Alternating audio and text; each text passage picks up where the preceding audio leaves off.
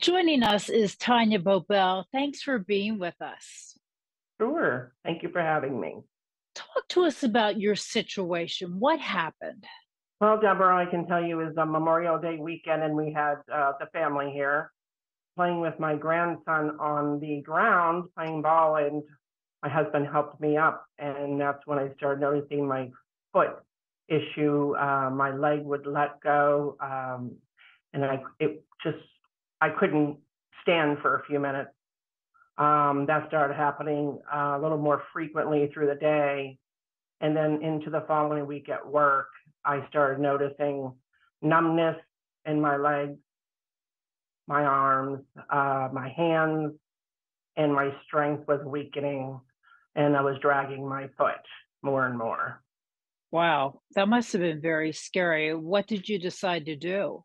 Uh, so at that point, it was um, getting worse. I then went to the urgent care where they did some um, x-rays and thought I had a pinched nerve and sent me home with um, anti-inflammatories and if I didn't get any better to see my doctor the following week. And did the anti-inflammatories work? No, not at all. Um, in fact, it started getting worse and worse. I couldn't lift my right leg or uh, use my hands much at all. I was losing a lot of strength in my hands where I couldn't even write, and I had to drag my right foot. So, what did you do next? I mean, I can't imagine going through something like this. Yep, it was very, very scary. We were all very worried. Um, so at that point, I called my primary care, and uh, she agreed that it may be a pinched nerve and gave me a prednisone pack with um, muscle relaxers and ordered some MRIs of my neck. And what did the MRI show? It showed that I had a large bulging um, disc um, on top of my spinal cord. So at that point, um, the MRIs, um, they called me right away and told me to uh, referred me to Dr. Weaver, the neurosurgeon with St. Joe's, right away. And when you met with Dr. Weaver, what did he say? What did he suggest? He reviewed the MRI results with me and examined me and said that I had a spinal injury, that the large disc was uh, pressing against my spinal cord, and suggested that I have surgery sooner than later because I continued getting worse, and that he would uh, put uh, two artificial discs in my neck.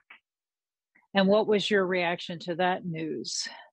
Well, I was kind of shocked. I didn't know I would have to have surgery. I was kind of listening to everyone else saying physical therapy, that'll help and whatnot.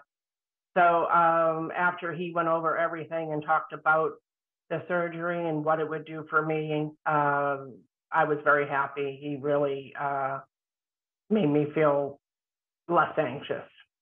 So you scheduled a surgery date. So uh, within four days, I had surgery on July 3rd and uh, everything went fantastic. It was a very successful surgery. Wow. So all of this happened in such a short period of time. Uh, what was recovery like? Uh, recovery, waking up, I felt immediate relief in my hands and my strength. I had no pain. Um, a few days of discomfort with swallowing because they go in through the front of your neck. Um, within two weeks, I was released to go back to work and with some physical therapy. Wow, that is that is truly amazing. So it's been just over three months since you had that done. How are you feeling now? I am back at, I would say 90%. I have a great physical therapist. I followed up with Dr. Weaver. I'm working on my strength and my balance. I feel great for the first time last weekend. I was able to play with my grandson again, my two year old grandson, and play ball again. I feel wonderful. Oh, that is so nice. You must feel so grateful. Very grateful. I'm just grateful that we found Dr. Weaver and his surgical staff, and I'm able to do what I am, I love to do, and that's playing with my grandson again. Thank you so much, Tanya, for sharing your journey with us. Thank you, Deborah, for having me. I'm so glad you're doing so well. Thank you. So am I.